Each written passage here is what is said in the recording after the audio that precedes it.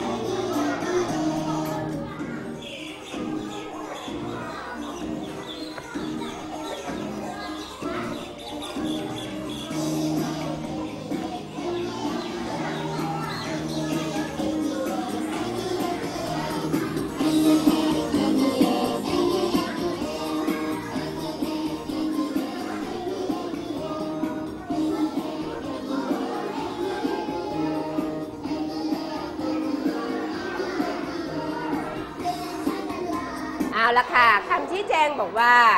ให้นักเรียนเติมเครื่องหมายบวก หรือเครื่องหมายลบ แล้วก็จำนวนลงในช่องสี่เหลี่ยมนะคะ ข้อนี้เป็นข้อที่หนึ่งค่ะ ให้เด็กๆเขียนข้อที่หนึ่งค่ะ ข้อที่หนึ่งให้ลอกโจทย์ ข้อนี้ลงไปในสมุดนะคะ พร้อมทั้งพิจารณาโจทย์ ให้เด็กๆใส่เครื่องหมาย บวก หรือเครื่องหมายลบ แล้วก็เขียนจำนวนหรือว่าตัวเลขใส่ลงไปในช่องสี่เหลี่ยมด้วยนะคะ ข้อที่หนึ่งค่ะลงมือนะคะอ่าลงมือค่ะ กลุ่มที่หนึ่งลงมือนะคะ รัชนนลงมือทำค่ะ ข้อที่หนึ่งเด็กๆไม่ต้องลอกโจทย์ ให้เด็กๆเขียนตามคุณครูนะคะ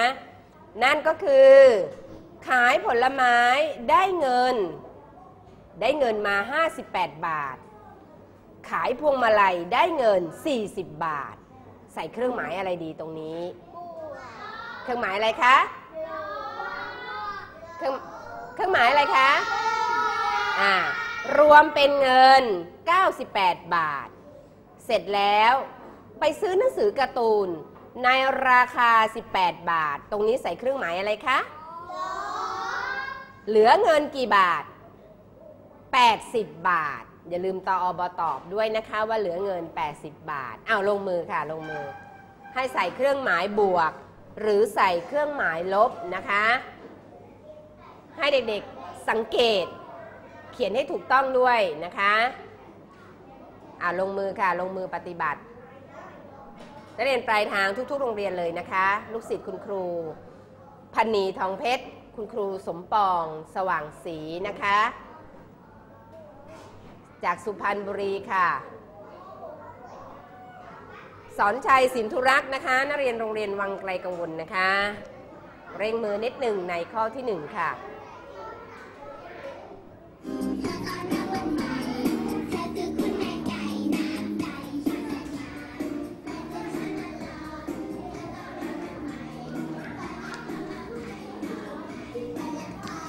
ได้หรือเปล่าลูก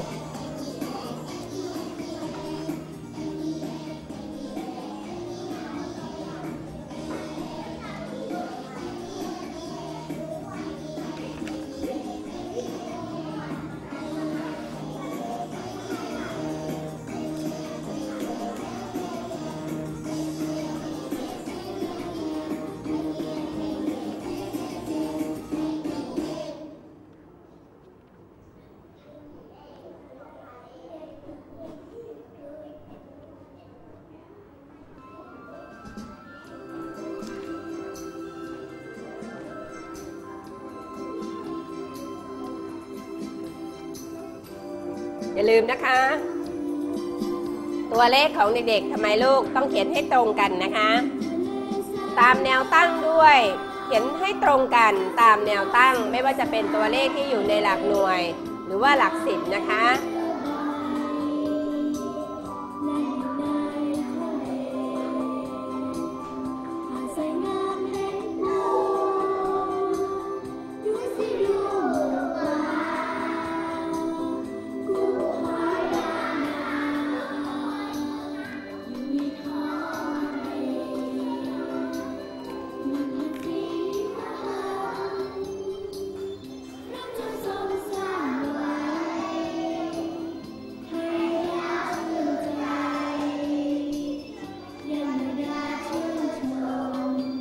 เอาน้องปนัยนะคะ น้องปนัยน้องกายสิทธิ์อย่ามัวแต่แปลงร่างอยู่นะคะลูก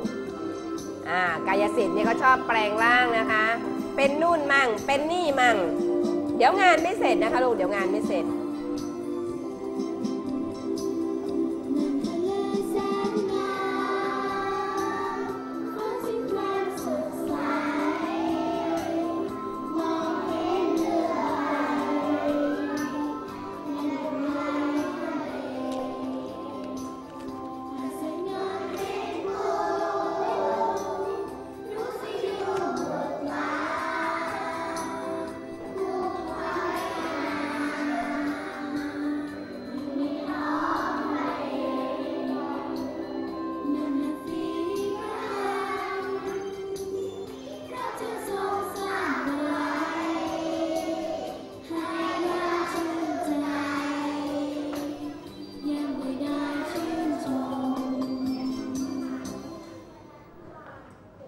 เอาเป็นยังไงบ้างคะ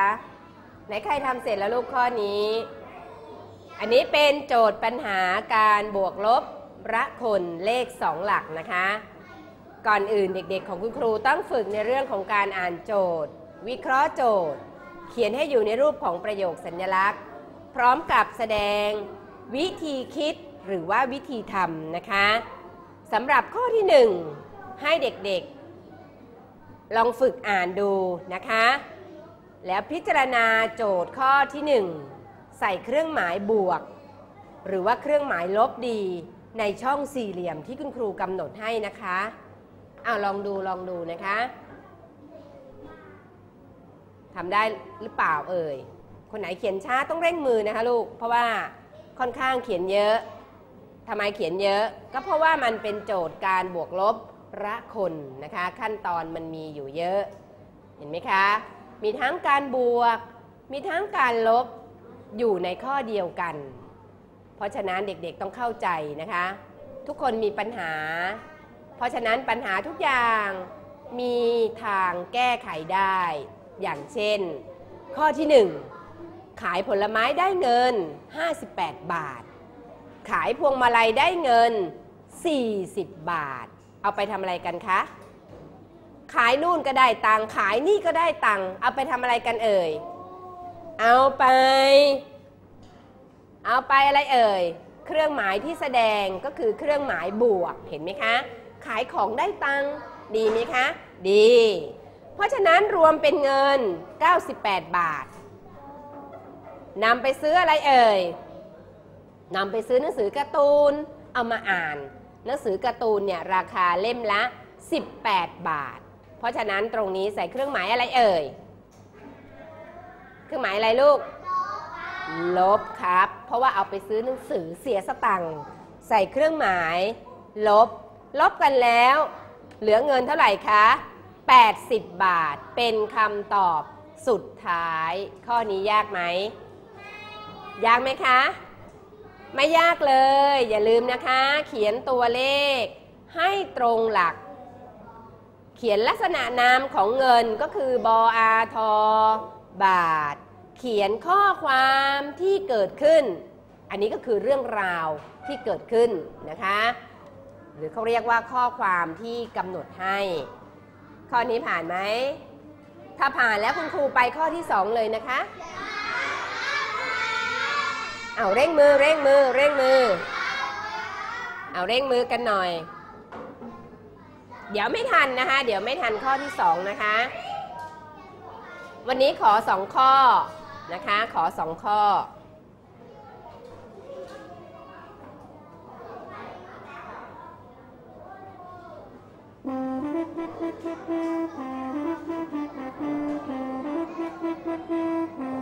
ให้ตรงหลักนะคะ ตัวเลขให้ตรงหลักนะ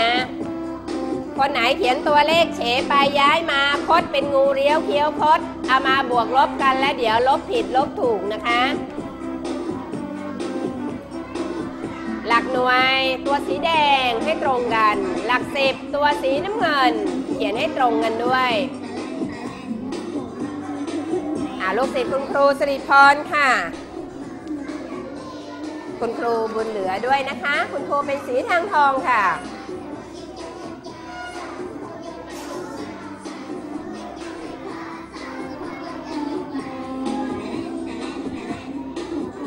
เอาเร่งมือนะคะ คนไหนเขียนช้าลูก ตัวเลขเขียนให้ตรงหลักนะคะ ห้ามเฉไปเฉมา เหมือนกับแม่ครูขาเทนะคะ ตรงไหมคะ ไหนคุณครูดูซิเขียนตัวเลขตรงหลักหรือเปล่า อ่าต่อไปข้อที่ 2 ค่ะ ข้อที่ 2 ต้องขอความกรุณา คุณครูปลายทาง ทุกๆโรงเรียนนะคะ ช่วยเขียนขึ้นกระดานให้กับเด็กๆด้วยนะคะ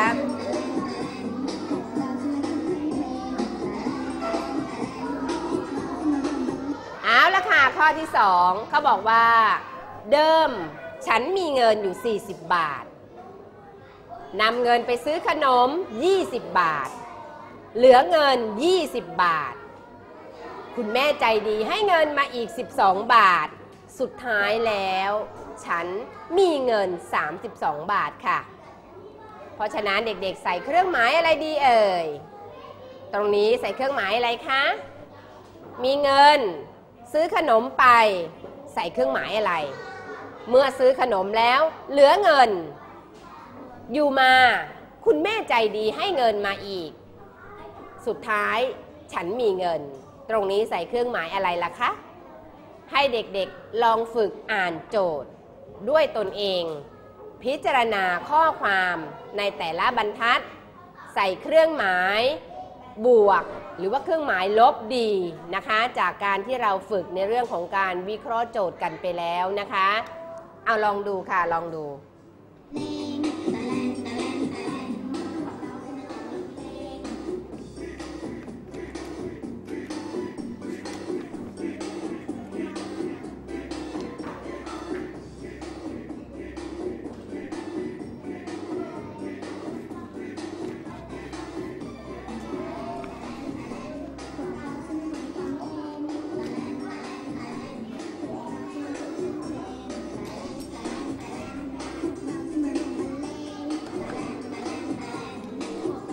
เอาเหลือเวลาอีก 3 นาทีนะคะ